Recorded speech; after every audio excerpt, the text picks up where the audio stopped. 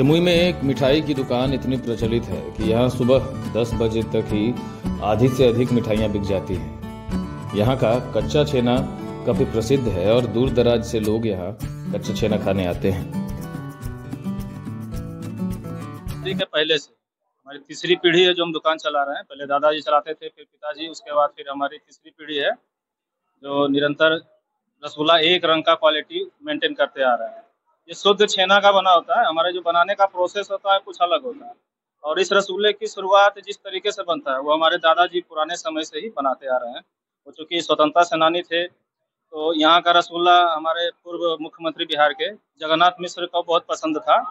हमेशा यहाँ से रसगुल्ला मंगवा के खाया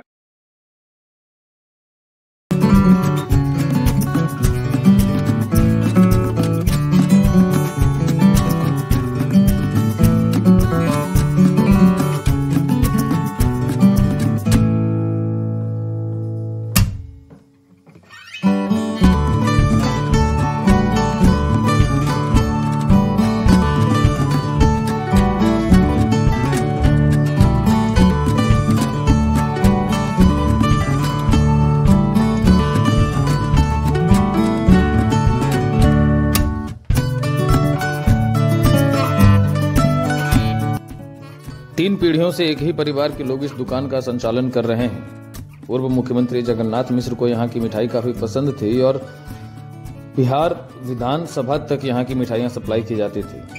आज आज भी काफ़ी दूर दराज से लोग यहाँ आते हैं और यहाँ की मिठाइयाँ ले जाते हैं। जमुई से लोकल एटीन के लिए गुलशन कश्यप।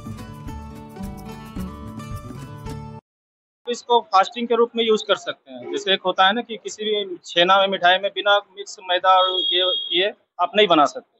लेकिन ये प्योर छेना आता है, जैसे दूध का छेना फटता है और वही छेना जस्ट बस मिठाई के रूप में हम लोग उसको देते हैं। तो इससे आप फास्टिंग कर सकते हैं।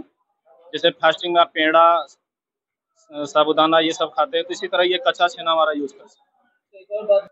तो ये कोशिश रहता है कि हम लोग 24 घंटे के अंदर उसको सेल कर सकें। और इसकी क्वालिटी इतनी अच्छी होती है कि सुबह पाँच बजे दुकान खोलने से लेकर बारह बजे तक हमारा करीब सिक्सटी परसेंट छेना सेल हो जाता है।